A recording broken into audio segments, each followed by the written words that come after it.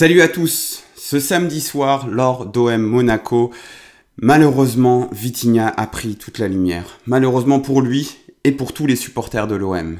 Le match désastreux de l'attaquant portugais explique en grande partie comment ça peut se terminer en score de parité malgré les circonstances arbitrales favorables à l'OM et la différence énorme aux expected goals. Au-delà de ce match, les difficultés de l'ancien de Braga ont exhumé le souvenir pour les Marseillais d'un autre attaquant en provenance du Portugal, un certain Costas Mitroglou.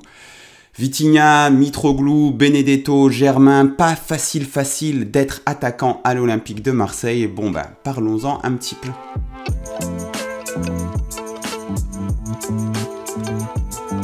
Pourquoi ce poste est spécial à l'OM Quel que soit le poste auquel vous jouez, arriver à l'OM, ça veut dire devoir endosser le poids de l'histoire liée au club et la pression qui va avec, la pression médiatique et populaire. Mais pour le poste de neuf, de grand attaquant, c'est pratiquement du x2 niveau pression. Parce que sur le terrain, l'histoire de l'OM, elle s'est construite avec, voire par des canonniers hors pair. On peut citer bien sûr Scoblar et Papin pour les plus connus, sans oublier les historiques Anderson, Alcazar, Zatelli ou même plus récemment Drogba ou Nyang. Il y a une mythologie du neuf à Marseille qui est entretenue par les médias et les supporters. Être numéro 9 n'importe où au monde, c'est avoir beaucoup de responsabilités dans le jeu, être le finisseur, voire par moments le créateur parce que le rôle évolue un petit peu. Mais être numéro 9 à Marseille, c'est ça, plus également le besoin, la nécessité de supporter psychologiquement le poids d'un fantasme. C'est très difficile, un fantasme, et donc des attentes qui, j'en suis certain, j'en suis persuadé, ne sont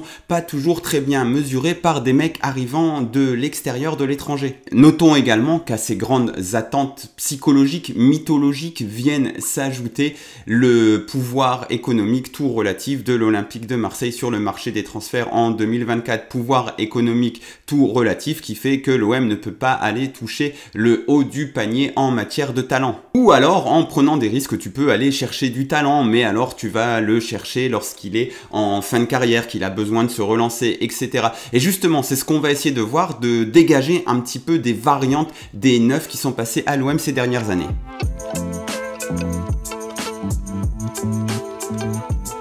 J'ai fait une petite liste de 12 joueurs depuis le rachat par courte ayant évolué à ce poste de numéro 9. Les voilà Vitinha, Aubameyang, Sanchez, Dieng, Milik, Bakambu, Benedetto, Germain, Mitroglou, Balotelli, NG et Gomis. J'espère n'avoir oublié personne en précisant quand même que Balotelli est un cas extrêmement particulier, arrivé pour 6 mois, 6 mois trop tard quand il n'y avait plus grand chose à jouer. Mais sinon, dans toute cette liste, j'ai envie de dire qu'il n'y en a que 2 sur 12 qui ont su assumer ce rôle sur toute une saison.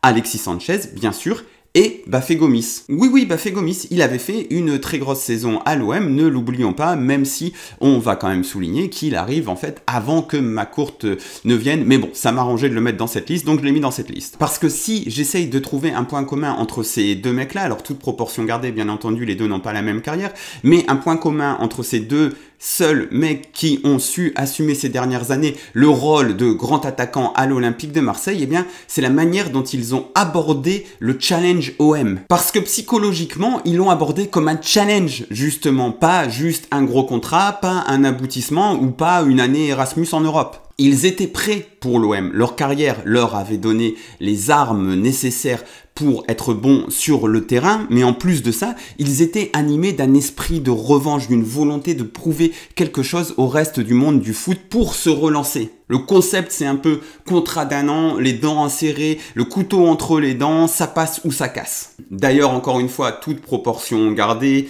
parce que voilà, il arrive dans un contexte particulier, comme je l'ai dit plus tôt, mais Balotelli, c'est aussi euh, contrat court, besoin de se montrer après euh, le fiasco de sa demi-saison à Nice, mais bon, Balotelli à c'est surtout l'histoire d'un rendez-vous manqué, même si ça s'est pas trop mal passé après quand il était là sur le terrain.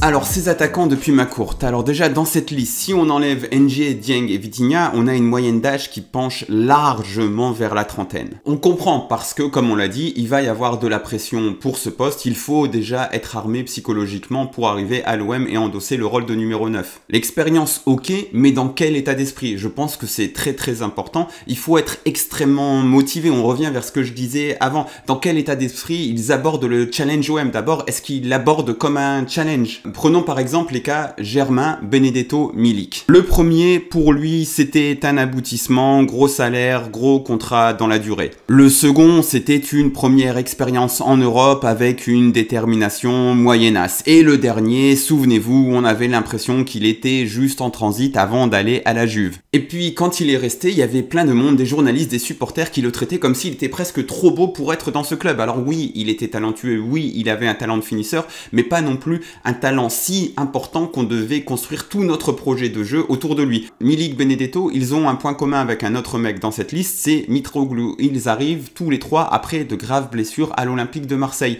Mitroglou, il arrive même carrément blessé à l'OM. Les trois sont clairement dans la seconde phase de leur carrière descendante. Revenons à cette liste, vous avez les mecs qui n'ont pas réellement eu leur chance comme euh, Bakambu ou Djeng. J'ai même pas mis Suarez qui a fait un passage éclair, mais pareil, il a vraiment pas eu sa chance lui pour le coup. NG, je pense qu'il c'était plutôt un joueur de côté, c'était plutôt comme ça qu'il était vu, même si il a dépanné dans l'axe parce qu'on avait personne d'autre. Aubameyang, je pense que c'est un peu le concept Sanchez ou Gomis, un expérimenté qui vient prouver qu'il n'est pas fini. Sauf que, sauf que, là, c'est avec un contrat de 3 ans. Donc, il y a peut-être moins l'urgence d'avoir le couteau entre les dents. Enfin, on verra. Et reste Vitinha. Ah, Vitinha. Dans cette vidéo, j'ai rien dit de dingue, j'ai pas non plus dévoilé de recettes magiques pour euh, recruter des grands attaquants, j'ai simplement un peu fait un benchmark euh, des attaquants passés par l'Olympique de Marseille et essayé d'identifier un petit peu bah, des grandes tendances euh, de ce qui a réussi, de ce qui n'a pas réussi. Et Vitinha, bah, Vitinha, il répond un peu à rien de tout ça, à rien des autres attaquants. Il avait un profil complètement différent lui. Pas armé psychologiquement, qui n'a pas prouvé au très haut niveau sur la durée avant l'OM qui galère incroyablement techniquement depuis un an. Alors je lui souhaite de réussir, hein, mais euh, j'y crois plus trop des masses. L'idée c'était sans doute de casser le moule, de prendre un autre type de joueur, de faire exploser un gros potentiel, mais les fragilités techniques et psychologiques qu'il montre depuis qu'il est à Marseille me font dire qu'il y a sans doute eu un emballement de la direction dû sans doute à la frénésie du mercato, le fait qu'il était en pleine ascension, qu'il y avait apparemment d'autres clubs, mais il y a eu une frénésie, il y a eu un problème au moment de l'achat. Ok, il était en pleine ascension, mais avec un scouting poussé dans la durée, on se serait aperçu de certaines limites qui sautent aux yeux aujourd'hui, techniques et psychologiques, et surtout, on n'aurait pas mis ce prix-là dans le contexte des ressources très limitées de l'Olympique de Marseille. Il y a, il y a eu une erreur quelque part, il y a eu un emballement. Parce que Vitinha, c'est une faiblesse technique jusqu'ici dans la finition et psychologique. Alors, on n'a pas envie de lui taper dessus, etc. C'est pas lui qui est responsable du prix de son transfert, mais on voit mal comment il va réussir à remonter cette pente. C'est comme s'il devait euh, tout débuter à partir de, zéro. Donc, euh, ben, courage à lui et en espérant qu'il ne se révèle pas être l'un des plus gros flops de l'histoire de l'Olympique de Marseille.